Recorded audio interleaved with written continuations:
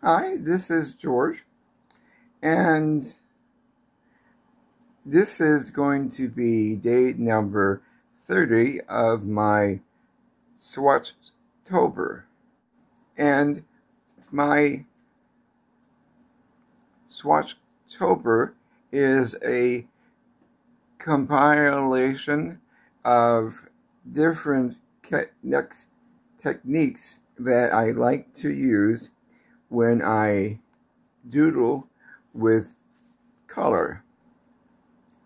The uh, supplies I'm going to be using, um, normally I would use a little bit of Neocolor 2s or watercolor, but today is going to be a bit different. Today I'm going to be using Turner Acryl Gouache. I'm going to be using Permanent Yellow. Permanent Yellow. Um, lemon. Permanent Scarlet. And Permanent Red. The reason uh, why I'm doing these is because someone suggested that I include the circles that I had started with the yellow and I'm going to include them down here. Now you're saying, but George, this is watercolor. Yes, and it's transparent. I like to include uh, acrylic gouache because it has, it's really opaque, uh, a lot like the Kuretake that I used up here and the gold, but and the star, okay. But when it's dry, the Acryl Gouache acts as a the appearance is a lot different than watercolor and that it's opaque and not transparent, but also it has a flat finish, whereas with watercolor, it's very transparent and you can see the white of the paper peeking through. When you use gouache, that the uh, uh, the opacity of gouache and the flatness also offers a kind of different feel for the piece of work that you're experimenting with. I'm going to use a plastic top to have the acrylic gouache put in here. I've got some water. I'll be using somewhat my mechanical pencil. It's a regular number two pencil. And somewhat my kneaded eraser. Not a lot because the pencil work marks when I apply the gouache will cover the pen pencil marks, so I don't really need it. I'm going to use a couple of brushes. They're from Mimik or Creative Mark and Princeton, but you can use whatever brushes you want. So let's get started. First thing I want to work on is some circles.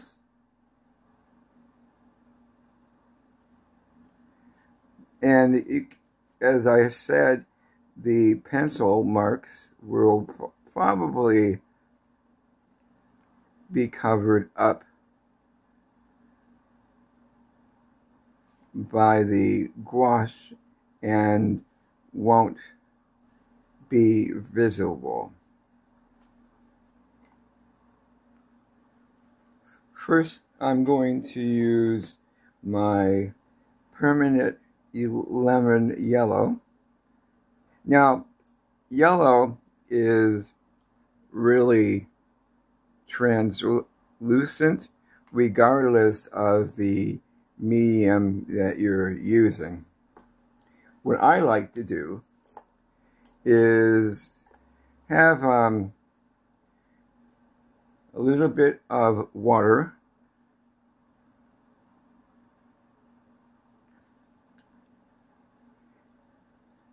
I'm going to use the spritzer every so often on the um, gouache so that I can keep it somewhat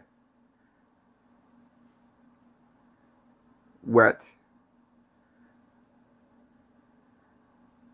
Or you can apply a little bit more water on your brush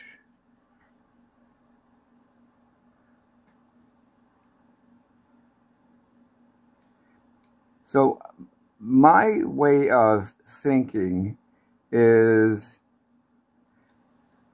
to slowly build up your layers of wash.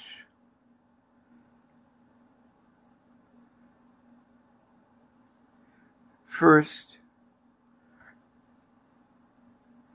layer is uh, like a, a wash.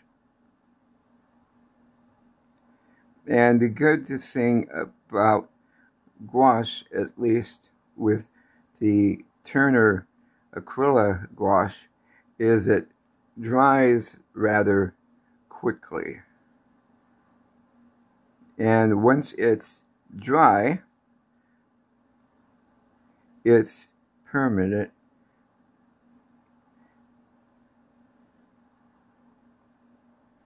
Let's see, a bit more down here.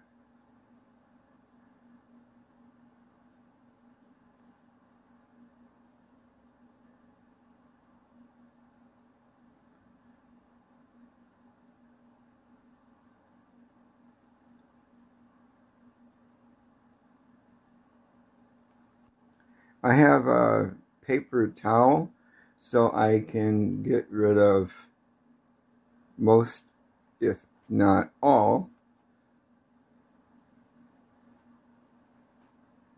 of the color, but the saturation of gouache is a, a lot more intense. So you may have to use more than one water container. And these are kind of dry, so we can go back in.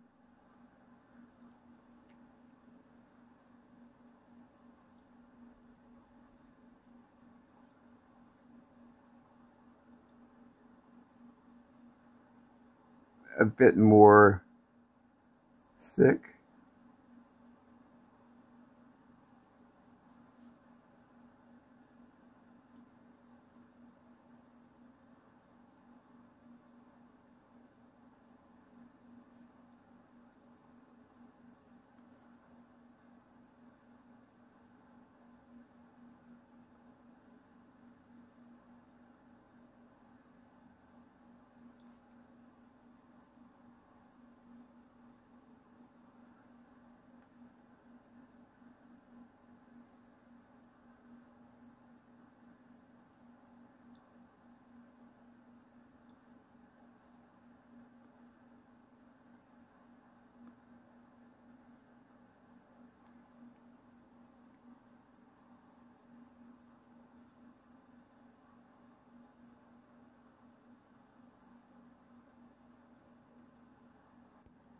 So I'm going to apply a little bit of spritzing, but away from my paper.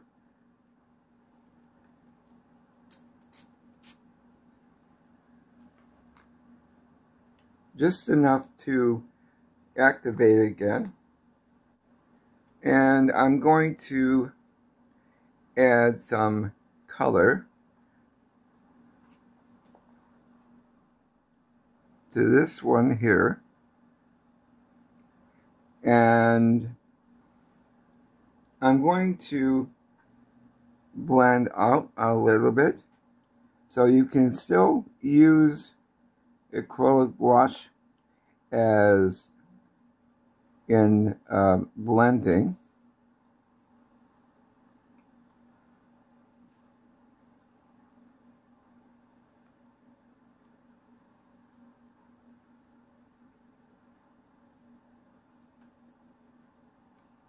And I'm going to go for another layer of my yellow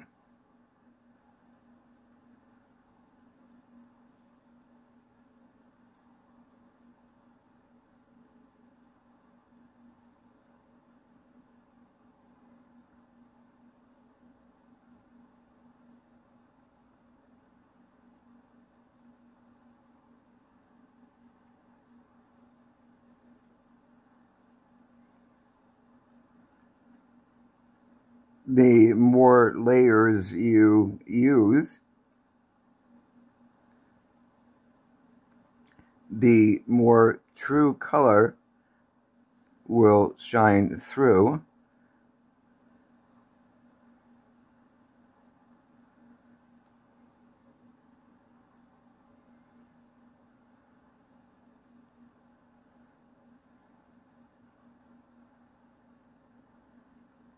And the more thicker you have the acrylic gouache, the more opaque it becomes. Because it's kind of a balancing act trying to decide how opaque you want your acrylic gouache to be. But unlike regular gouache, where you can reactivate it once it's dry, acrylic gouache stays put. I'm going to draw in some more circles.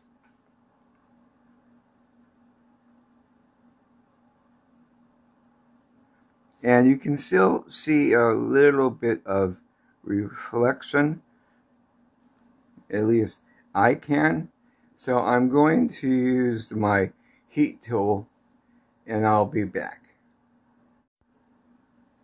So this is my heat tool tool but you can use um, uh, a hair dryer as well to speed up the process but if you use a heating tool, make sure that the gouache is away because you don't want to dry it out and have it at the lowest setting. So now I can go in with my pencil.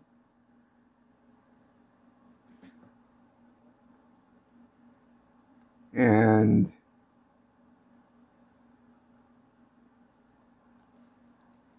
have some more fun.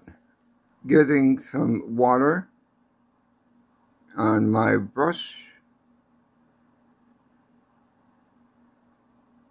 Activating uh, larger area.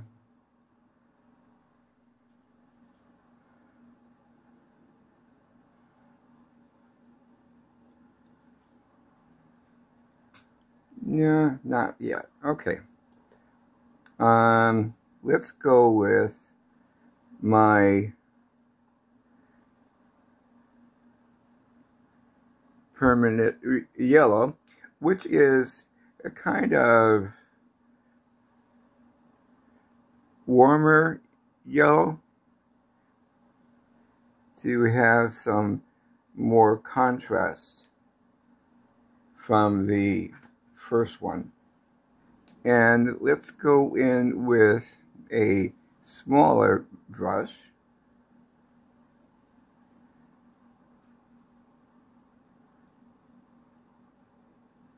Again, kind of thin it out a little bit.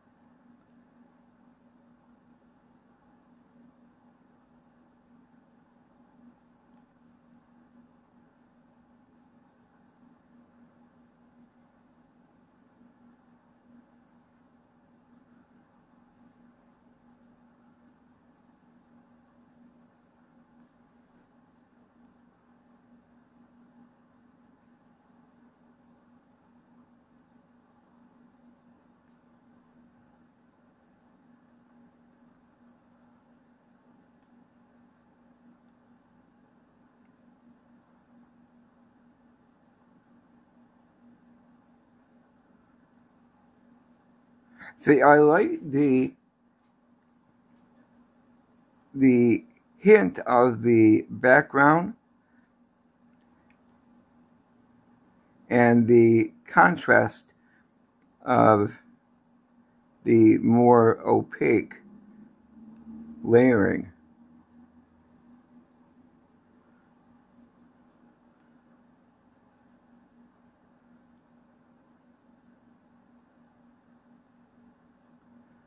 And with wash, you can layer as much as you want to change up what's going on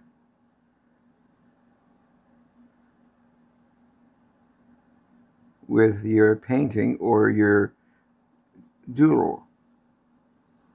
Now, the reason why I started with my yellow is because it's dirty now, but if I were to say have started with uh, red, it would have been much more dirtier. And this is my second water that way, when the rinsing is done from the first clean through, I can use my brush again and it doesn't muddy up the water as much. So I don't know if I said this before, but um, someone commented asking me if I was going to include, include some of the yellow circles into here. I think I did.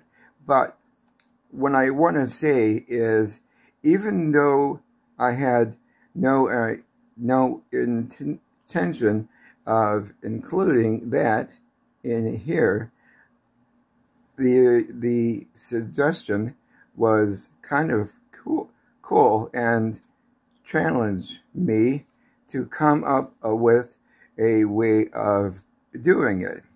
So thank you for the suggestion. I spritzed the palette a bit again. So I'm going to go in with another layer and have it on top of some, but not all. Because I still like the effect of a single layer of the acrylic gouache.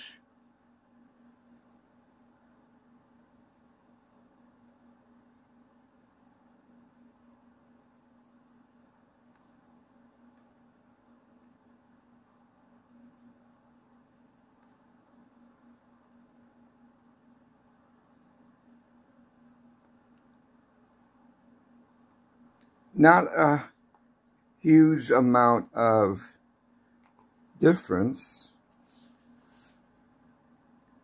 but you can see some. It's more pronounced for me as I paint it. It might not be that way for you. So, what like um, watercolor, you can introduce a bit of blending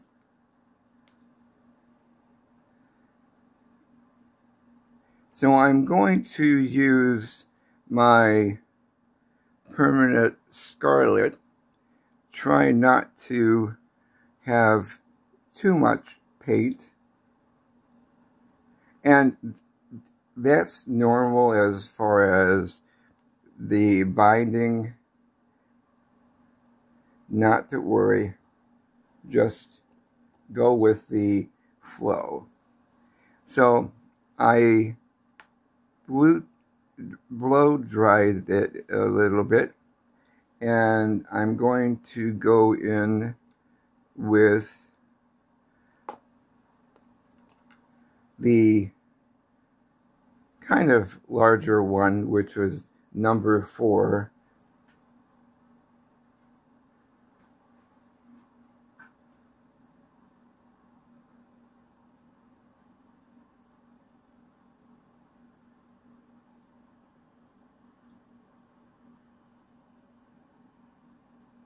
to make a kind of an orange I'm going to go back in my sketch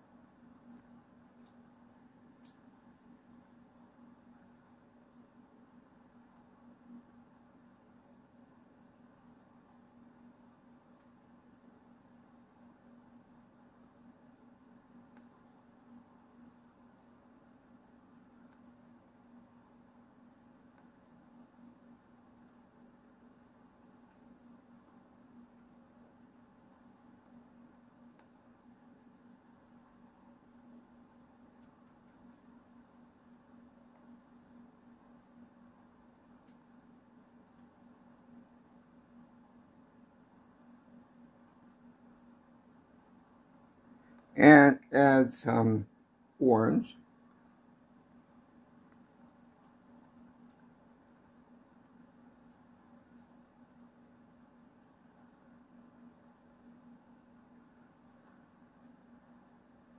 And one here, kind of hiding. So I apply a little bit of the orange that I just made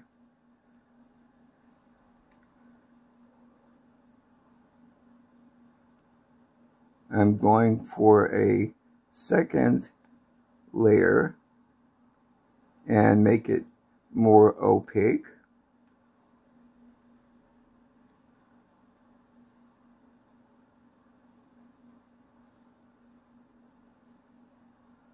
I'm going to hit it with the blow dryer again and I'll be back.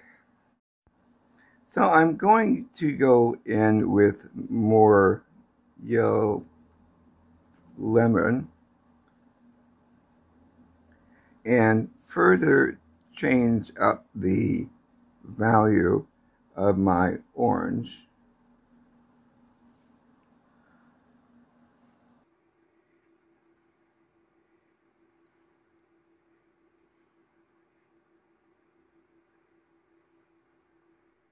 And we'll see what happens.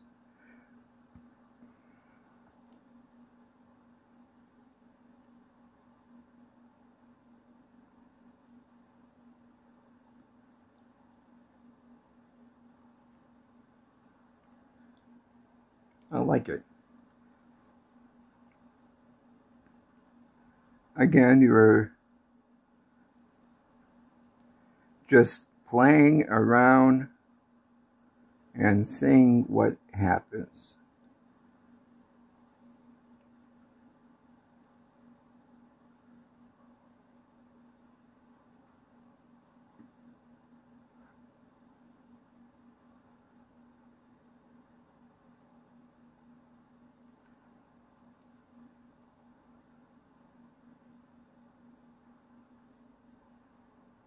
And if you don't like what it's turning out to be,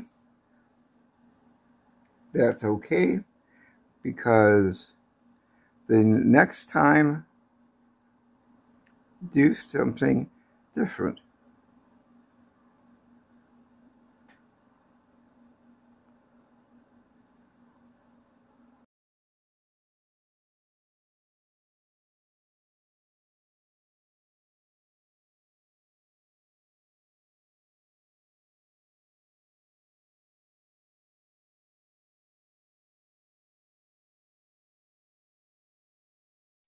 So, as you can see, the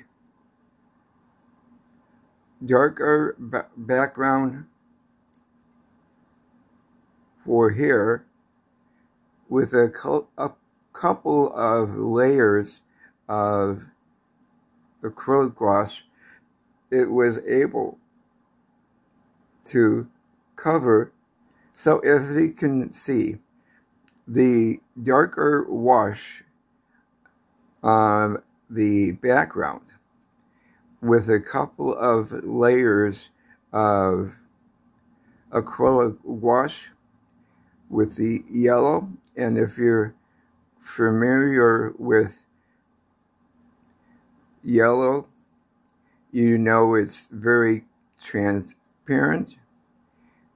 But with the uh, acrylic gouache it has no problem in covering up and completely obliterating the well that's probably the the wrong word but you get the idea. So it's it dries more matte than the watercolor which is like I said, I like the contrast. So what do you think? Did I do it justice as far as this area goes? I'm going to play it around with my uh, uh, acrylic gouache, that's a hard word for me to say. Sorry about that. But anyway, I like the effect of the juxtaposition of the opacity with the transparency of watercolor. So, hope you enjoyed your day with me a bit and got inspired to play around with gouache. Remember, regular gouache, you won't be able to layer like I did here because as soon as you layer it, it changes it up totally. So anyway, I hope you enjoyed the video today and got inspired to have some fun. Now you can do this with acrylics or you can kind of do it with um, watercolor if you know you're going to do this with the watercolor? Plan a bit more. That way lay in the yellows the circles and after the circles are dry go in with your darker background. Anyway um, have a great day i will see you in the next video remember to be kind to yourself be kind to others, and be, be creative. Bye.